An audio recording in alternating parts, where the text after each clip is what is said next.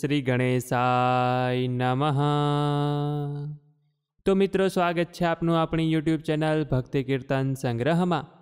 તો મિત્રો, સૌપ્રથમ આપ સૌ લોકોને આ ભાઈબીજ તહેવારની અમારી ચેનલ તરફથી ખૂબ ખૂબ શુભકામનાઓ.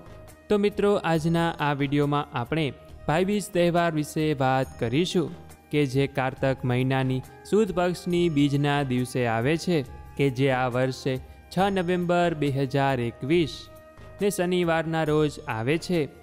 આજના દિવસે બહેન પોતાના ભાઈને ઘરે બોલાવીને ભોજન કરાવે છે કે જેથી તેનો ચૂડી ચાંદલો અખંડ રહે છે અને ભાઈને પણ લાંબુ આયુષ્ય પ્રાપ્ત થાય છે. આ દિવસે દરેક બહેન પોતાના ભાઈની લાંબી આવરદાની કામના કરે છે. આ ભાઈબીજના પવિત્ર દિવસે આકાશમાં પ્રગટ થતો ચંદ્ર પ્રગતિ અને વિકાસનું પ્રતીક છે. અમાસના અંધકારમાં ડૂબેલો ચંદ્ર ભાઈબીજના દિવસે ઉજ્જવળતાની નવી શરૂઆત કરે છે અને તે જ રીતે જે ભાઈ દુઃખરૂપી અંધકારમાં ડૂબેલો હોય તે આ ભાઈબીજના દિવસે બહેનના હાથનું ભોજન પ્રેમપૂર્વક આરોગીને પોતાના ઉજ્જવળ ભાવિની નવી શરૂઆત કરે છે. તો મિત્રો, આ ભાઈબીજનું વર્તમાન સમયમાં પણ એટલું જ મહત્ત્વ છે કે જેટલું અગાઉના સમયમાં હતું. ભાઈબીજ એ ભાઈ તથા બહેન માટે એક ફરજ પણ છે. આ દિવસ નવા સંબંધોના સ્વીકાર સાથે ગઈકાલના પવિત્ર સંબંધોને યાદ કરવાનો પણ દિવસ છે. બહેન પિયરનું સર્વસ્વ છોડીને પોતાના સાસરે જાય છે અને આ દિવસે ભાઈને અચૂક યાદ કરે છે અને તેને ભોજન જમાડી તેના સુખની મંગલ કામના કરે છે.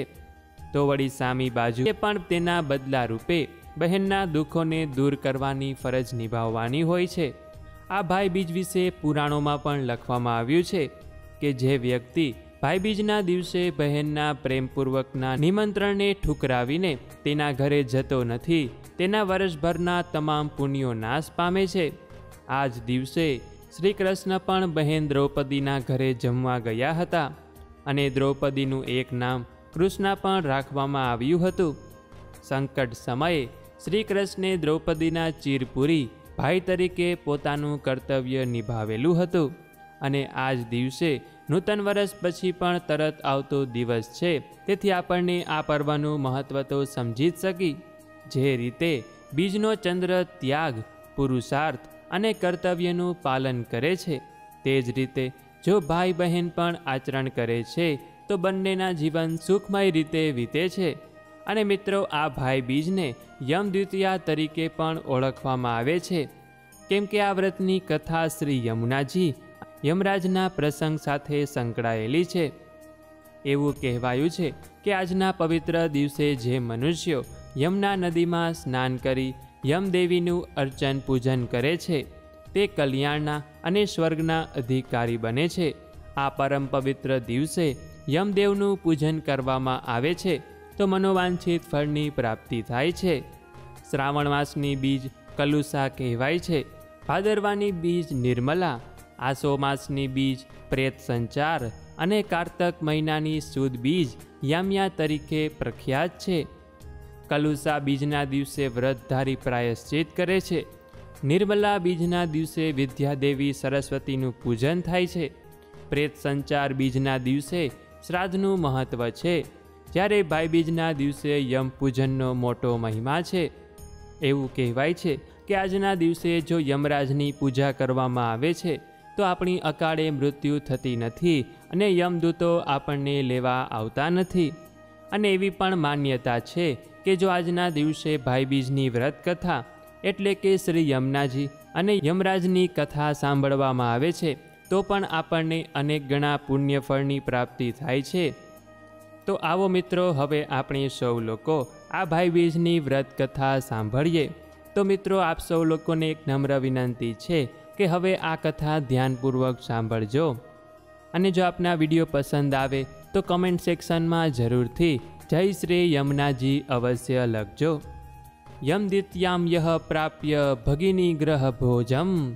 ન કુર્યાદ્વસર્જમ પુણ્યમ નશ્યતી રવે હે શ્રુતમ તો મિત્રો યમ અને યમી ભાઈ બહેન હતા એટલે કે યમનાજી અને યમરાજ એ ભાઈ બહેન હતા યમી એટલે કે યમુના નદી યમી તો રોજ પોતાના ભાઈને પોતાને ત્યાં જમવા આવવા નોતરું આપે પણ યમરાજને ઘડીને ફુરસદ નથી કોઈનો ન્યાય તોડવો કોઈને સજા કરવી વગેરે પ્રવૃત્તિમાંથી જ નવરા ન થાય પછી બહેનને ત્યાં જમવા આવે કેવી રીતે? એવામાં ભાઈ બીજનો પવિત્ર તહેવાર આવ્યો અને એમાં વળી બહેનનો અત્યંત આગ્રહ એટલે યમ બહેનને ઘર જમવા આવ્યા. બહેન તો ભાઈને પોતાને આંગણે જોઈ આનંદ વિભોર બની ગઈ અને બહેને પ્રેમપૂર્વક રસોઈ બનાવી, બત્રીસ જાતના ભોજન ભાઈને આગ્રહપૂર્વક જમાડ્યા. ત્યારે ભાઈ યમ યમીને કહે છે કે, બહેન, માગ માગ તારે જે જોઈતું હોય તે માગ, આજે હું તને આપીશ. કહેવાયું છે ને કે ભાવનાની ભેટ અમૂલ્ય છે. તેથી બહેન યમીએ ભાઈ પાસે ફક્ત પાંચ વસ્તુઓ માગી, એટલે કે પેલી, આજે બહેનને ત્યાં જે ભાઈ જમે છે, તેનું મોત ક્યારેય કમોતે ન થાય અને તેને યમરાજના તેડા ન આવે.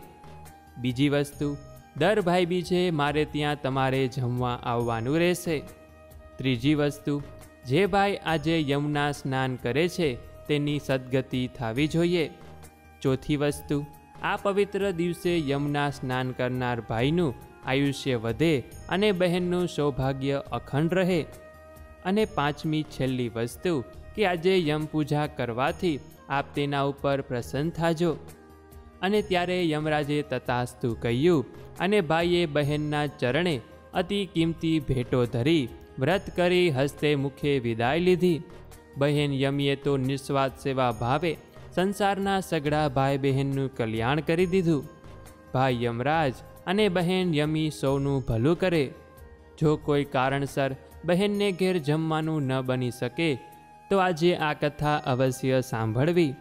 જો નાની બહેન ન હોય તો મોટી બહેન, મિત્રની બહેન, મામા, માસી કાકાની દીકરી અથવા તો ધર્મની બહેનને ત્યાં જમવા જવાનું અને શક્તિ અનુસાર અને શક્તિ અનુસાર તેને કોઈ ભેટ આપવાની શ્રાવણ માસની બીજ હોય ત્યારે કાકાની દીકરીને ત્યાં ભોજન લેવાનું. ભાદરવા માસની બીજના દિવસે મામાની દીકરીને ઘેર જમવું જોઈએ. આસો માસની બીજના દિવસે માસી અથવા ફોઈની દીકરીનું આમંત્રણ સ્વીકારવું અને કારતક સુદ બીજ એટલે કે આ ભાઈબીજના દિવસે પોતાની સગી બહેનના ઘરે ભોજન લેવાનું કે જે કરવાથી તે ભાઈને ધન યશની પ્રાપ્તિ થાય છે. ધર્મ, અર્થ, કામ અને મોક્ષ ફળીભૂત થાય છે. બળ અને આયુષ્યની પણ અભિવૃદ્ધિ થાય છે અને સાથે સાથે તેના આરોગ્યમાં પણ વૃદ્ધિ થાય છે. અને તેમ છતાં પણ કોઈ કારણોસર ભાઈબીજના દિવસે આપ બહેનના ઘરે જમી શકો તેમ ન હોય, તો આ વ્રત કથાનું શ્રવણ કે પઠન કરવાનું, કે જે બહેનને ત્યાં ભોજન કર્યા બરાબર ફળ પ્રાપ્ત થાય છે, અને તેના પુણ્યનો કદી ક્ષય થતો નથી, અને તેને લાંબા આયુષ્યની પ્રાપ્તિ થાય છે. તો બોલીએ શ્રી યમને મહારાણી કી જય. યમરાજ દેવકી જય.